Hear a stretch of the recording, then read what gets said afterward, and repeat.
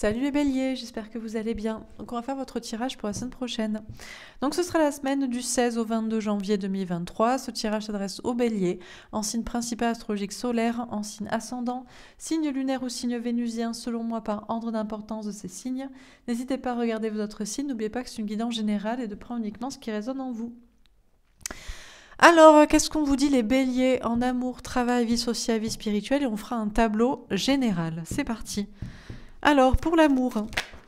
Oh, bon, alors, déjà, on a un petit souci de communication. On a le 2 de feu. Bon, il y a des obstacles. Vous avez du mal, en plus c'est votre carte les béliers, vous avez du mal à communiquer avec l'autre ou à faire avancer la relation ou votre situation sentimentale. Je vais prendre celle que j'ai vue, on a l'étoile à l'envers. Il n'y a pas d'étoile à l'envers. Euh, ça n'existe pas. Un, espoir et une protection sur vous et sur tous vos voeux, vos rêves à l'envers. J'ai l'impression que c'est vous qui croyez que vous n'êtes pas protégé. Pour communiquer ou pour que la situation ou la relation ou votre vie sentimentale avance. Mais c'est une illusion de ne pas croire ça. On a le 9 de terre, argent, travail, santé, indépendance, bien-être. Célibat peut-être ou sortir d'un célibat. Et la reine de terre. Encore une fois cette notion d'indépendance financière matérielle de bien-être Ok, les béliers, il y a un petit, un petit obstacle pour faire avancer votre situation sentimentale parce que vous croyez à tort que vous n'êtes pas protégé. Pour parler, euh, pour quitter quelqu'un, pour faire une nouvelle rencontre, pour que cette relation, cette communication euh, avance. Peut-être ça manque d'un, ça part d'un manque de confiance en soi au niveau professionnel ou matériel, ou peut-être parce que peut-être vous êtes trop indépendant aussi, ou vous avez peur d'être célibataire ou de sortir d'un célibat. Et pourtant, euh, vous allez vous sentir bien cette semaine, à moins que ce soit l'autre. On a quelqu'un qui se sent de mieux en mieux, professionnellement, financièrement, matériellement, libre de s'engager ou d'être célibataire s'il le faut, ou de bien vivre son célibat ou le parcours, la relation, l'engagement. On a quelqu'un qui se sent de... C'est ça en fait. C'est peut-être l'idée de se sentir mieux dans la matière. Bon. Alors, pour la vie professionnelle, on a le messager d'eau. D'accord. Communication sincère, déclaration d'amour, engagement. C'est marrant parce que dans l'amour, eh bien, on parle du travail, de l'argent, des projets concrets, de la complétude, de l'indépendance, notamment financière. Et dans la vie professionnelle, on vous parle de sincérité. Dans la vie euh, professionnelle, financière, alors est-ce que c'est vous qui allez être sincère? Vous allez euh, parler sincèrement à quelqu'un dans votre travail, à notion d'engagement du cœur? Ou c'est ce que vous devriez ou alors c'est quelqu'un qui vous parle sincèrement, euh, qui, qui, a l'air d'être engagé émotionnellement. Alors pour la vie sociale, qu'est-ce qu'on vous dit Qu'est-ce qu'on vous dit les béliers pour cette semaine? On a le 6 d'air. D'accord. Vous allez réfléchir, ou, ou c'est quelqu'un qui réfléchit à quitter une situation. Peut-être c'est au niveau sentimental, mais que ça se joue au niveau social. Il y a peut-être des gens à perdre, des gens à décevoir, ou des gens à qui dire, voilà, je vais faire ça, je vais quitter, je vais rejoindre, ou je, vis ça. On a quelqu'un qui réfléchit à quitter une situation. Ou le dodo, un couple existant, un couple destiné. D'accord. Dans la vie sociale, on a quelqu'un qui réfléchit. Alors, soit c'est vous, et vous réfléchissez à le dire aux gens, voilà, je vais quitter ce couple existant pour un autre, ou je vais quitter ce couple existant tout court, ou je vais m'engager avec cette personne. Donc vous y réfléchissez à le dire à quelqu'un, ou vous allez voir quelqu'un de votre entourage social qui est dans ces mêmes problématiques ou réflexions. Voilà, j'envisage de me marier, de m'engager, ou voilà, j'envisage de divorcer, ou voilà, je suis dans une transition amoureuse. Bon. Ok, et pour la vie spirituelle, de cette d'air. Ah, alors là, c'est pas facile. Il y a du courage. Vous avez euh, besoin de courage, les béliers, pour affronter des peurs cette semaine. Euh, la peur de vous tromper, la peur d'être trahi, peut-être dans un lien ou dans un projet spirituel. Euh, peur d'être trahi par des gens, peur de, de vous engager ou, ou de quitter. Bon, ok. Alors, on va faire un tirage au niveau général. Est-ce qu'on a un message à vous donner les béliers, pour cette semaine, que va-t-il se passer ou quel est le message que vous avez à entendre? Quelle est votre problématique? Sur quoi vous travaillez? Vous réfléchissez? La maison Dieu. Alors, elle est tombée à l'envers. Alors, déjà, on vous dit, ce tirage n'est pas pour tout le monde. Premièrement. Donc ne commencez pas à imaginer des catastrophes si vous êtes très bien dans un couple, dans une famille, dans une maison, dans une relation, dans un travail, dans je ne sais quoi. Par contre, pour certains, il y a un bouleversement, mais c'est pas un bouleversement parce que c'est peut-être vous qui êtes en train de préparer ou vous y préparez à une rupture amoureuse, euh, à un divorce, à un déménagement, à un changement de travail.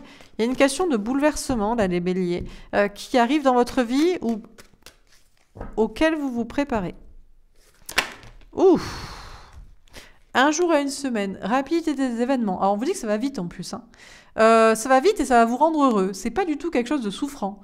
Euh, euh, vous êtes préparé, vous attendez de, bouleverser votre vie et ça va vous rendre très très heureux de rompre, de déménager, de, changer de lieu de travail, de peu importe. Et ça va très vite et c'est très clair et voilà. Ou soit vous vous attendez. Vous attendez enfin peut-être qu'on vous, qu'on vous licencie bon, qu'on demande le divorce à votre place, que l'autre déménage, ou que euh, vous attendez peut-être un coup de foudre aussi, vous attendez un bouleversement dans votre vie. Les choses euh, se passent assez rapidement. On a le signe du cancer, peut-être que ce signe peut vous parler. On vous parle du mois de juillet. Bon, alors euh, rapidement ou moins rapidement. Entre maintenant et juillet, les beaux jours. Sensibilité, créativité, famille, instabilité, maturité. Alors on a une notion de famille. Deux fois on a la, famille qui ressort.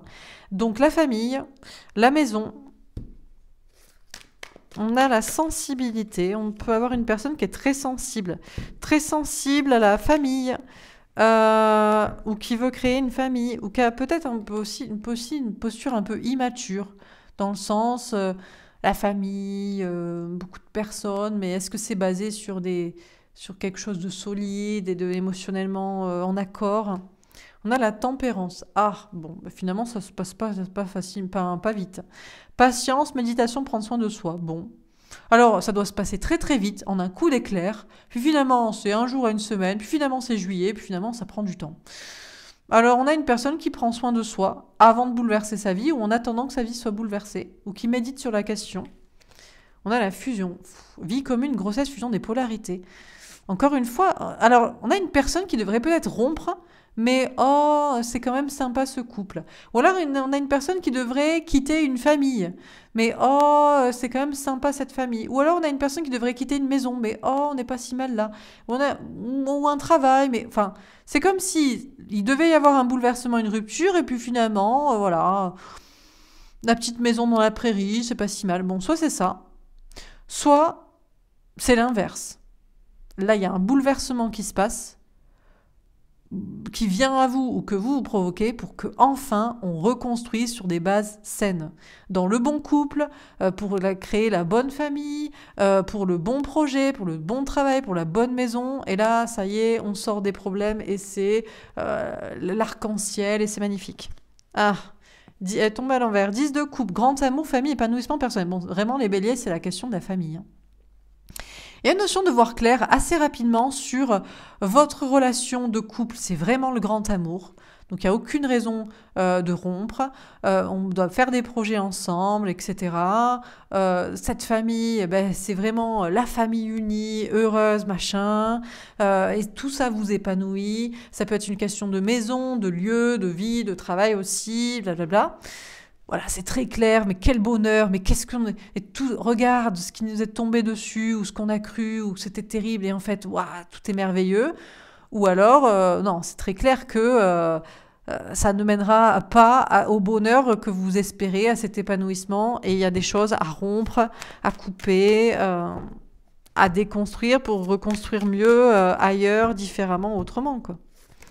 Alors, qu'est-ce qu'on vous dit? On a l'ermite, introspection, silence, travail spirituel.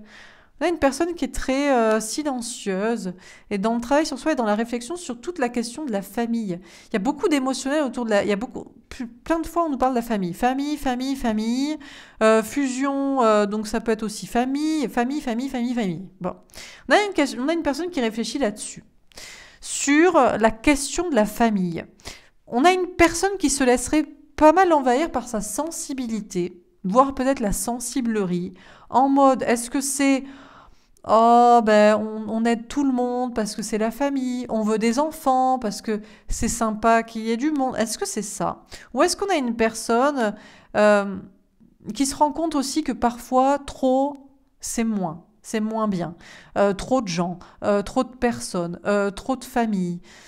Trop d'instabilité émotionnelle, je ne sais pas. On a quelqu'un qui réfléchit sur tout ça, qui fait un gros travail d'introspection à propos de la famille et de ce que ça perturbe, euh, de ce que ça apporte. On a le signe du scorpion, peut-être que ce signe peut vous parler, on vous parle du mois de novembre. Des choses, alors, euh, se passent aussi entre peut-être juillet et novembre, c'est possible, on a deux signes d'eau, c'est beaucoup d'émotionnel ici. Intuition, entièreté, mystère, excessivité, destruction. On a quelqu'un qui doit prendre le temps, patiemment, de faire un, travail sur soi, de réflexion sur le fin fond de la famille. C'est quoi la, famille? C'est quoi? C'est pourquoi? Ça, vient de quoi cette idée de, construire une famille, de vouloir une famille, de ne pas vouloir en avoir, de, ou de rester, ou de couper des liens, ou bon un gros travail d'introspection et d'intuition pour résoudre le mystère de la famille, résoudre le mystère de la famille. On a le 2 de denier, choix d'orientation professionnelle qui n'est pas trouvé priorité. On a des personnes, euh, je ne sais pas si c'est vous, si c'est l'autre, la question de la famille est un choix financier. En famille, on est plus. Il vaut mieux être avec quelqu'un. Euh, c'est plus stable d'être en couple que d'être célibataire. Si on a une famille, on s'entraide. Par exemple, euh, on fait des choix financiers, matériels comme ça. On choisit. Pour d'autres, bon, euh, non, euh, je, préfère rompre parce que euh, ça me rend quand même pas heureux. Il y a des questions financières et matérielles aussi autour de maison, autour de famille, autour de choix, d'orientation professionnelle, d'équilibre comme ça dans le travail, dans l'argent.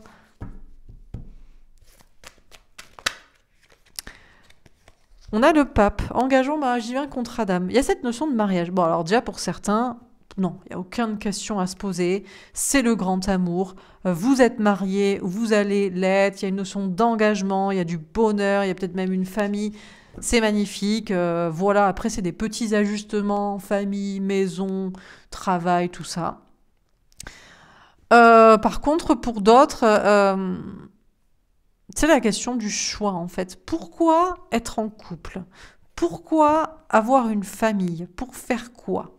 Et avec qui du coup? Et est-ce qu'il y a un engagement profond aussi qui est au niveau euh, de, l'âme et de ce qu'on souhaite en termes de, portée, de contrat d'âme, d'objectif? On a le 2 de bâton, partenariat, collaboration, problème de communication. On a quand même quelque chose qui est un peu flou, qui est un peu embrumé. Peut-être à cause d'une partie de la famille, ou peut-être euh, parce qu'on n'est pas d'accord l'un l'autre. Il y a des obstacles, il y a des problèmes de communication ici, parce qu'aussi on a une personne qui réfléchit sur la question et qui ne s'exprime pas. À propos de sa famille, ou du concept de la famille, ou bien passé. Et du coup, ça met un problème euh, dans la communication, dans la relation, pour faire avancer, pour faire même peut-être avancer une famille. On a l'as de bâton, passion, attraction physique, écouter son instinct et agir. Ok. Bon, après, euh, peut-être qu'il est temps d'agir aussi. On a assez réfléchi, médité, euh, essayé de comprendre le mystère de la famille, de ci, de ça, et maintenant il est temps de passer à l'action. Il y a des choix à faire, hein. pour certaines, certains entre deux personnes, et pour certains entre deux choix de direction, le mariage ou le contrat d'âme. Il y a des problèmes de communication, et c'est peut-être le temps de l'impulsion et de l'action. On a le roi de denier.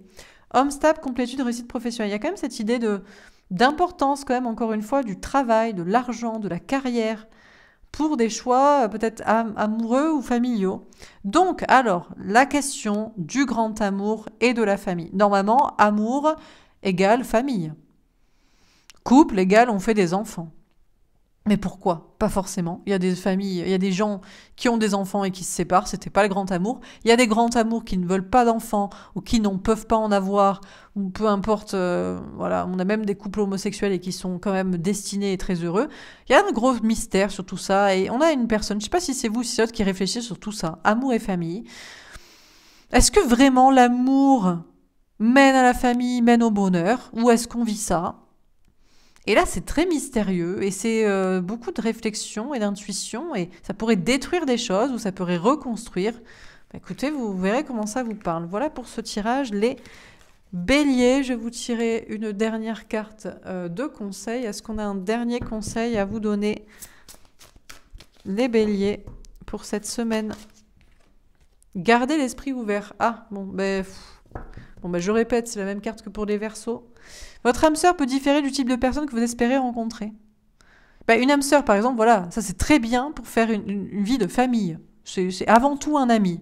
On est d'accord, on veut la même chose, on est d'accord sur le couple, sur la famille, sur les projets, sur l'argent, parce qu'en fait on est plutôt amis. Mais bon, est-ce que c'est vraiment la passion? Est-ce que c'est le désir?